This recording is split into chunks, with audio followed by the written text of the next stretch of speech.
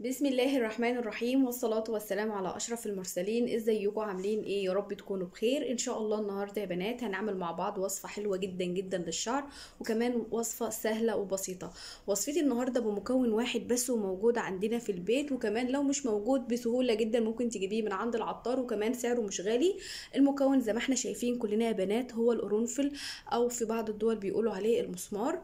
القرنفل حلو جدا جدا للشعر. أول حاجة بيطول الشعر وبيتقله وكمان لو عندك صلع أو عندك فراغات بيعالجها وكمان بيعالج القشرة كمان بيدي لمعان وريحة حلوة جدا للشعر.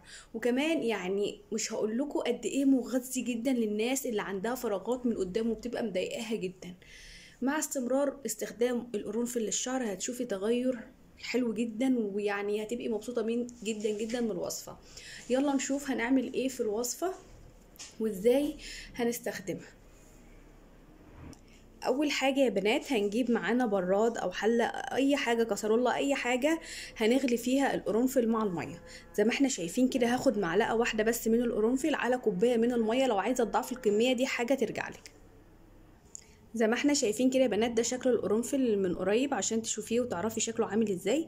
هحطه عندي كده في البراد وكوباية من المية.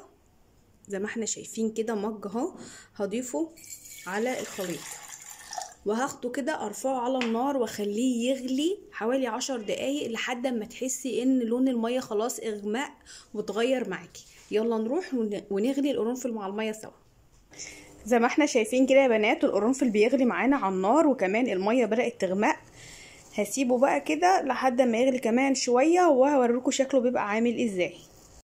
خلاص يا بنات كده أنا حطيت القرنفل في الكوباية بعد ما غلى وزي ما إحنا شايفين بقى بالشكل ده أو باللون ده. هنعمل إيه بقى؟ أول حاجة بتسيبيه كده بعد ما يبرد تحطيه في الكوباية وتغطيه وتسيبيه كده للصبح ليلة كاملة. وبعد كده لو عندك بخاخ تقومي حاطة فيه مصفياه وحاطاه في البخاخة. وإزاي بنستخدمه؟ هقولك دلوقتي. بعد ما بتغسلي شعرك بالشامبو تنشفيه كويس بتاخدي البخاخة اللي انت صفيتي فيها القرنفل وبتبدأي تبخي بيها على شعرك.